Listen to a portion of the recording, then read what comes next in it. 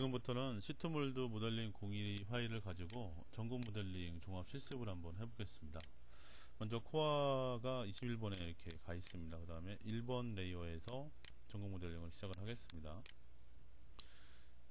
실제 하는 것처럼 한번 해보겠습니다. auto subtract를 많이 써먹죠. 그래서 이쪽은 이제 블럭을 만들어주게 되고요. 네, 자동으로 파졌죠. 이쪽을 한번 surface로 좀, 좀 이따가 한번 해보겠습니다. 그 다음에 이쪽도 한번 서페이스로 같이 해보고요. 그 다음에 이쪽은 블럭으로 이렇게 여기 여기 찍어주게 되면은 블럭이 만들어지죠. 자동으로 파지고요. 이렇게 파지게 됩니다. 네. 그 다음에 이런 것도 면 찍고 네, 자동으로 서브젝트가 이루어지죠. 이런 쪽도 이렇게 어차피 이쪽하고 이쪽 따로따로 이렇게 만들어야죠. 넣어주게 됩니다. 그 다음에 음, replace face를 써가지고 면 맞춤을 합니다. 이 면을 이 면으로 싱글하고 연속사용 켜놓고 되면 더 편하게 쓸 수 있습니다. 이 면은 이걸로 예. 나머지 부분도 여기를 여기로 하게 됩니다. 그 다음에 여기를 여기로 여기를 이쪽으로 이렇게 하고요. 일단 지금 끝난 거는 완성을 시켜 보겠습니다 이쪽으로 이쪽으로 만나게 하고요. 연장을 해야죠. offset face 가서 연장을 찍고 찍고. 예, 1mm씩 1mm씩. 여긴 더 나가겠다. 연장을 이렇게 하게 됩니다. 그럼 전극이 이제 완성이 된 거죠. 음.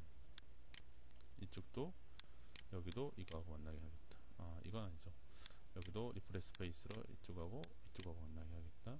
그런 다음에 네, 1mm씩 연장을 하게 됩니다. 여기도 연장 그 다음에 여기도 연장 이쪽 같은 경우는 불필요한 이쪽 부분이 있습니다. 그래서 잘라내야 됩니다.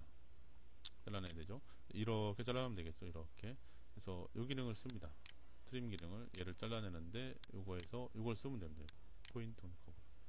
여기 예, 여기 여기 오케이. 그래서 이쪽 방향을 자르겠다. 포인트 찍어주면 잘라지게 됩니다. 그런 다음에 replace face를 써가지고 여기를 이 면하고 만나게 하겠다 하면 되겠죠? 그리고 21번 한번 숨겨 보겠습니다. 예, 여기도 이쪽은 필요가 없죠? 예, 따로따로 할 거니까요. 필요가 없습니다. 여기도 replace face 써서 이렇게 하면 만나서 이루어지게 됩니다. 그 다음에 21번을 다시 살리고 replace face를 써서 완성을 시켜 보겠습니다. 이 면과 만나게 해라. 연장해야죠. 1mm 1mm 연장. 네. 그 다음에 면 추출하는 거 가지고 이쪽은 면 추출을 해보겠습니다. 여기서 inside로 polygon을 해서 하면 면 추출이 이루어지죠. 예. 그 다음에 이쪽은 찍어만 줘도 면 추출이 이루어집니다. 그래서 21번 숨기고요. 합칩니다. 두 개를 합치고요. 이거하고 이거하고 합치고 이거하고 이거하고 합칩니다. 그런 다음에 연장을 합니다.